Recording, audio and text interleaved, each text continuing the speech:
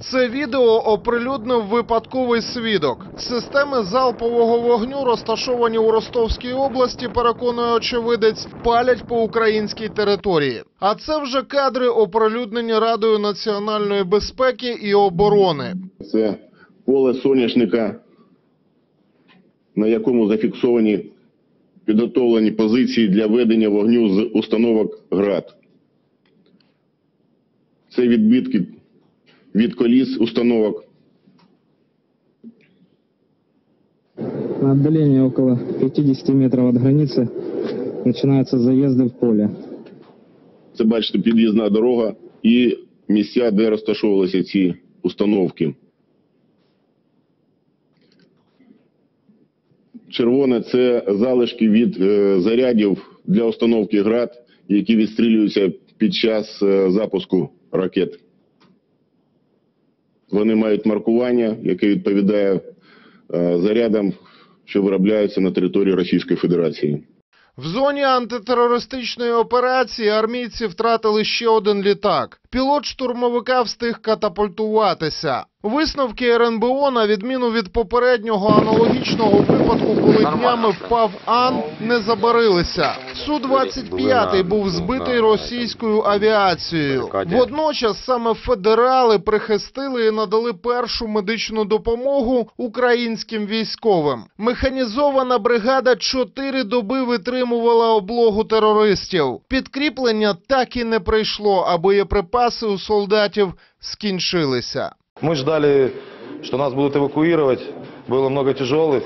Эвакуации не было. И вот как-то вышли на ру- русских пограничников. И благодаря этому нас вот привезли сюда и здесь приняли в этой больнице. Сотрудники пункта пропуска на линии государственной границы выяснили, что украинская сторона обращается к российским пограничникам э, для оказания помощи раненым военнослужащим украинской Ситуація в зоні АТО загострилася до тієї межі, коли кожен мирний мешканець знаходиться у небезпеці. Луганська міськрада звернулася до городян з проханням максимально утриматися від пересування містом. Ба більше людей застерігають навіть не підходити до вікон. На свідомість донбасівців розраховують і соловики, щоправда, в іншому контексті. найближчим часом в Донецьку будуть з'являтися групи невідомих патріотів,